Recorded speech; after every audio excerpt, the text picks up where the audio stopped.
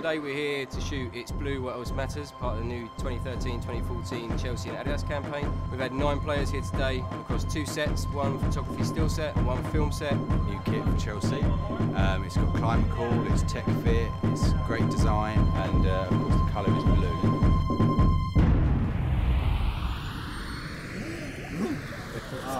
Spill them, my friend.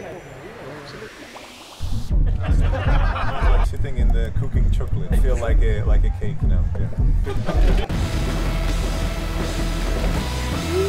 The players have been great, they've got really involved and uh, they've been great sports. The players get involved want to have fun and they want to show what blue means to them.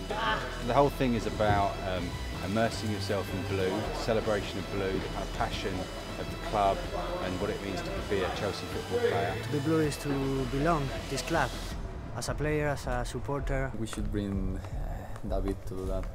I would like to see him with uh, long hair inside of this place. Lose the color.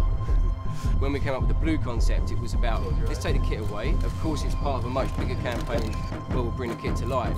But actually, the Chelsea fans are that dedicated to the club. They are all in.